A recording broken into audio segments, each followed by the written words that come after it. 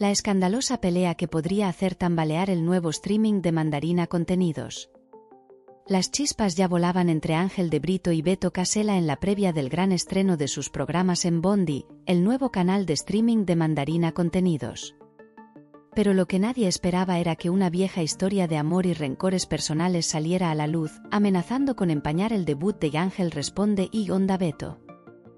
Todo comenzó con una entrevista frustrada en América TV, el canal del magnate Daniel Vila. Se dice que la negativa a que Casella participara en el programa de Mariana Fabiani se debió a un viejo rencor.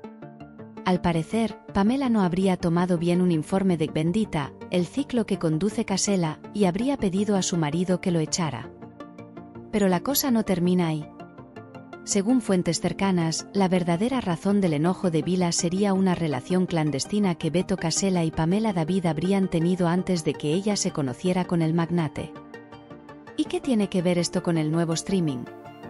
Al parecer, Casella, furioso por la censura en América TV, habría insinuado al aire la relación con Pamela David, desatando un escándalo en las redes sociales. ¿Podrán Ángel de Brito y Beto Casella dejar de lado sus diferencias y enfocarse en el éxito de su nuevo proyecto? ¿O este escándalo será el principio del fin de Bondi?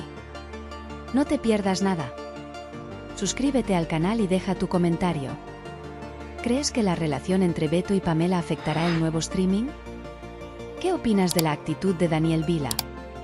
¿Te gustan los nuevos programas de Ángel de Brito y Beto Casella?